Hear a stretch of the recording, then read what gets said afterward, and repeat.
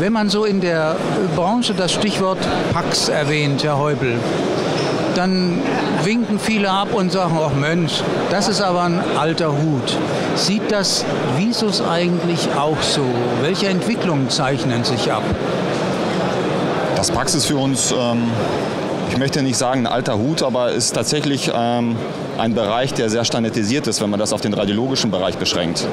Ähm, wir als Visus haben natürlich auch schon seit Jahren vor allen Dingen das PAX-2-Geschäft, was für uns der nächste Schritt ist nach dem PAX, das heißt das Bildmanagement außerhalb der Radiologie gelernt, sind auch Marktführer in den Niederlanden und nun gehen wir auch schon seit einem Jahr die nächste Stufe an, das medizinische Archiv, also Medical Archive, wie wir es nennen, beinhaltet nicht nur das Bildmanagement außerhalb der Radiologie, sondern alle medizinischen ähm, Objekte und Daten, die im medizinischen Kontext erzeugt werden, binden wir dann ein, bilden eine Plattform und konsolidieren so einige Prozesse und bieten, glaube und ich bin mir sicher, der IT-Abteilung wie auch dem Anwender mh, hm, ja, mehr, Mehrwerte, äh, wovon äh, letztendlich die Behandlung des Patienten noch profitiert. Also Funktionen und Wachstum beim PAX gehen über die Radiologie hinaus? Bei weitem, bei weitem. Also wir sind ähm, auch schon, also wir haben sehr viele Kunden im, im, deutschsprachigen Bereich, die zum Beispiel operative, endoskopische Abteilung, Sonographieabteilung eingebunden haben oder zum Beispiel EKG-Abteilung. Das heißt, die EKG-Geräte sprechen ja heute mittlerweile auch ähm, DICOM oder eine andere strukturierte Sprache, wie zum Beispiel XML. Die können wir einbinden, anzeigen, dem Anwender Befundungsmöglichkeiten geben. Und eben der nächste Schritt ist, Funktionsabteilungen einzubinden, die auch Dokumente erzeugen und zu uns überbringen, sodass der Anwender alles in einem Viewing hat. Mhm. Visus hat ja nun ein spezielles Geschäftsmodell. Wollen Sie dazu ein, zwei Sätze sagen?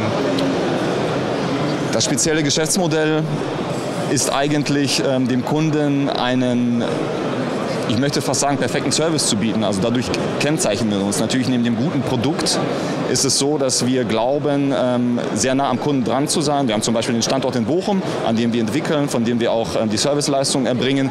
Wir haben keine, keine Hotline, die davor geschaltet ist. Ein Kunde, der eine Frage an uns hat, trifft direkt einen qualifizierten Mitarbeiter, der ihm hilft. Das ist, glaube ich, ähm, eines der wichtigen Punkte neben der Funktionalität natürlich bestätigt auch unsere Kundenanzahl. Wir haben, seitdem es uns gibt, keinen einzigen Kunden verloren. Das ist, glaube ich, ein ganz gutes Zeichen und bauen in den letzten Jahren regelmäßig unsere, ähm, unsere Kundenvolumina um 20 bis 30 Krankenstandorte pro Jahr aus.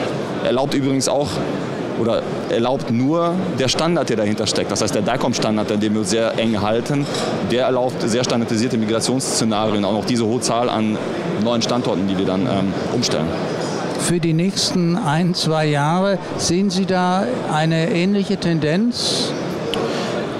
Ich bin mir sogar sicher, dass wir ähm, die Tendenz ähm, sogar ausbauen können, weil wir jetzt eben das Thema Medical Archive eingehen, sehr stark. Wir werden ab Q3 dieses Jahres die nächste Version rausbringen, die sehr viele Vorteile in diesem Bereich implementiert und eingebracht hat.